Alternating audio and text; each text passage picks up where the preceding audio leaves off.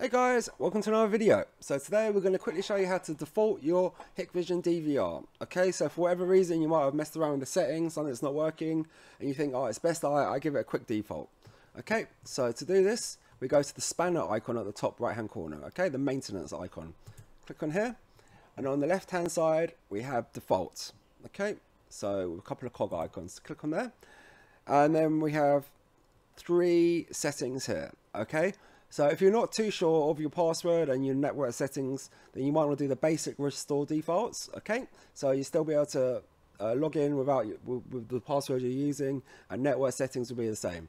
But um, if you're having problems with that and you want to make sure it's complete factory default, then click on the second one here. Okay.